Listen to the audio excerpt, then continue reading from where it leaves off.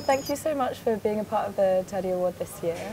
Uh, could you start by just introducing a little bit about the work that you do? Yeah, my name is Maria Paula Lorgia. I am the film programmer of the Cinematheque of Bogota, and I have been coordinating Ciclo Rosa, the oldest LGBTI film festival of Colombia since the past uh, six years. Okay. And this year, there's, as with last year, there's quite a few queer films from Latin America and Colombia itself. Why do you think there's such a strong output of queer film from Latin America at the moment? Well, I feel uh, Latin American cinema is very fresh and there are a lot of schools that are kind of uh, encouraging uh, that uh, radicalism in film and also our political situation it's very it's moving all the time so i think that the shift the shift from leftist governments to right-wing governments have influenced in a way how the artistic movement have developed. And we have seen this in the uh, in the films that are selected this year. Also there's quite a good uh, film funds that are good. Colombia, Brazil, Argentina. Uh, so also it's a reflection of the support of the funds to the films.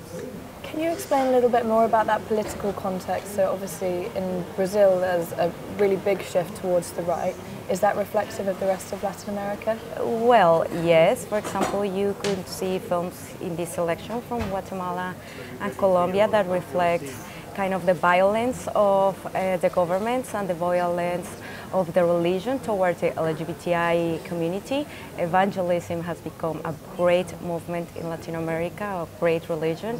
So, and the governments, the right-wing governments are supporting that. So I feel that uh, artists are very worried about that situation and they are reflecting that into film.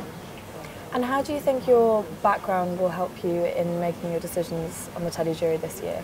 Well, I have uh, to be sincere, and I think uh, I'm searching for a balance between the political and the cinematic. I think it's always important to put the cinematic over all the political, but of course, uh, the background of knowing the directors of Latin America's work and living the situation of Latin America will help help to make a decision about what's the most important film and the strongest one for the Teddy Awards. And is there anything you're particularly looking for from the Teddy films this year? Uh, well, I was looking uh, for great cinematic uh, works and also uh, for important subjects. And of course, the Berlinale is a great platform to seeing these kind of films. Thank you so much for talking to us. Okay, and, thanks good luck to you. with the decision making. Thank you.